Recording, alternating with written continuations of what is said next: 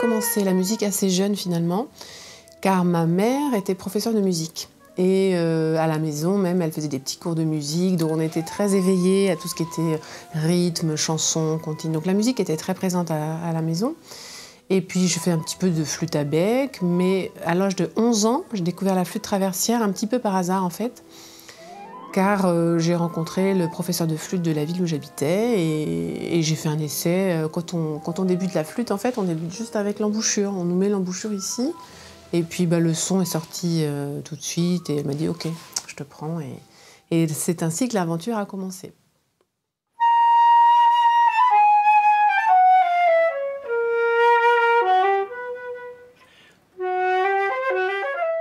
J'étais étudiante donc à l'école de musique de hier dans l'Essonne.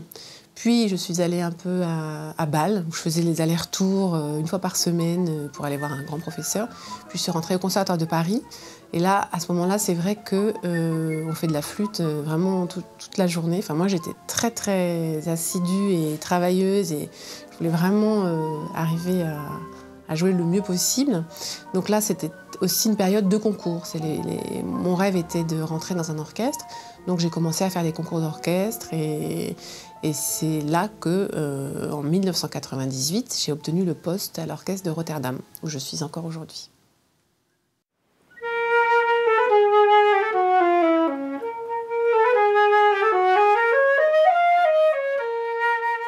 Donc je suis à l'orchestre de Rotterdam mais je bouge euh, aussi euh, beaucoup pour d'autres concerts qui sont euh, en soliste, en sonate avec piano avec mon, amie Hélène Couvert, ou en musique de chambre comme ici à la Folle Journée de Nantes, ou en soliste avec orchestre. Donc ce qui est passionnant dans ce métier, c'est justement toute cette diversité d'activités. Donc de pouvoir passer de l'orchestre à la sonate, à la musique de chambre, c'est vraiment merveilleux.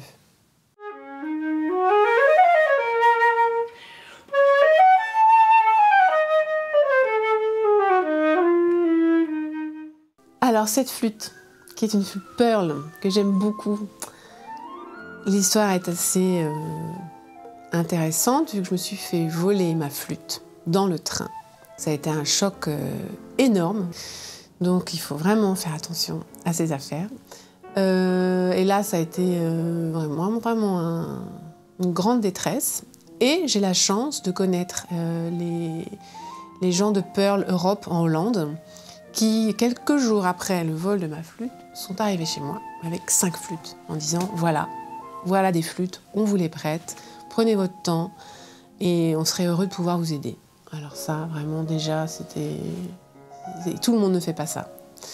Donc j'étais déjà très touchée et puis de toute façon, il me fallait une flûte pour, faire mes concerts. Enfin, donc, euh, là, j'ai un petit peu essayé les, différentes flûtes et tout de suite, euh, j'ai été attirée par celle-ci sans savoir trop pourquoi, parce que je suis pas quelqu'un qui euh, me penche sur euh, comment c'est construit, euh, quel matériau. A priori, ça m'intéressait pas trop, mais là, du coup, j'ai dû me, pencher sur la question. Donc, c'est une flûte en or 18 carats.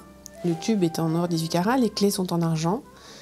Et moi, auparavant, je jouais une flûte 14 carats, et en fait, la différence, je ne savais pas, est réelle. Le 18 carats, c'est plus riche et aussi ça projette plus dans la salle les collègues m'ont dit waouh, c'est une flûte qui vraiment euh, va plus loin. On, t'entend mieux dans la salle. Donc c'est vrai que c'est une qualité. Et puis, euh, dans tous les registres, euh, c'est très facile d'émission, très agréable. Enfin, c'est une flûte. Alors, j'ai mis du temps à m'habituer. Et là encore, merci Pearl Europe qui a attendu des mois je dois, vraiment le dire. je disais, écoutez, je sais pas, j'arrive pas à me décider, je suis pas encore habituée. certaines notes, je n'arrivais pas à les faire sonner. il a fallu accepter aussi de, faire le deuil de l'autre.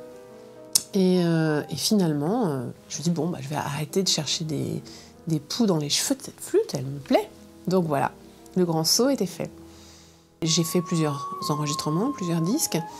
Le dernier est sorti en 2011, il s'appelle Impression française, donc c'est un disque dédié à la musique française, avec notamment la fameuse sonate de Poulenc, qui est adorée de tous les flûtistes et de beaucoup de ménomanes. Donc un disque que j'ai fait euh, avec Hélène Couvert au piano et euh, Arnaud Torret à l'alto, Christine Nicard à la harpe pour un trio de Debussy absolument euh, magnifique. Et je prépare mon prochain disque qui sera Beethoven Schubert et qui sortira au mois de septembre pour Naïve.